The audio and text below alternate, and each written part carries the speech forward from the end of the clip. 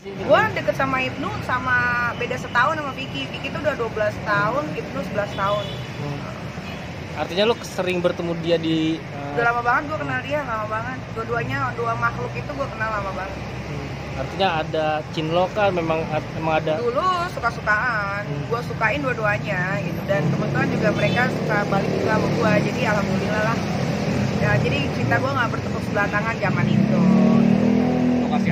Mereka berdua. Ah, gua kasih apa ya? Lu tanya aja lah mungkin ak-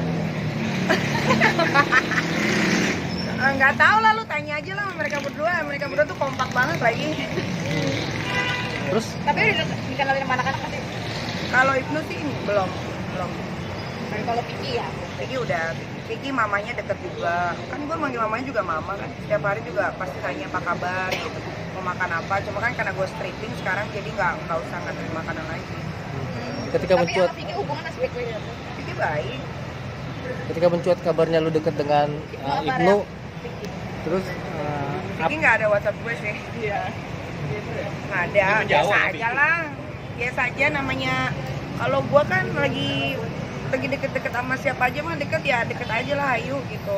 Kalau sama Vicky mulai merantau ah iya udah udah nggak intens kayak dulu aja kalau sama Vicky mungkin dia lagi sibuk Niki juga lagi sibuk kan?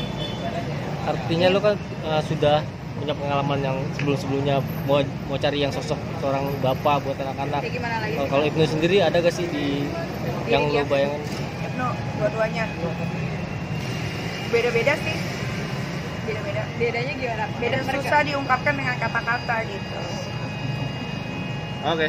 Ini pilihan yang kasus yang sama saja nggak ngerti tuh gua nggak tahu. Saja tuh siapa sih gembel dari mana? As. Iya katanya udah P21 lu nah lu taunya dari siapa? Dari pengacara nah tanya pengacaranya. Tapi lu sendiri belum tahu kabar itu. Gua nggak tahu dan gua nggak peduli. Itu bodo amat ya. Ya lah orang anaknya anak gua kok. Besok ya kan Niki?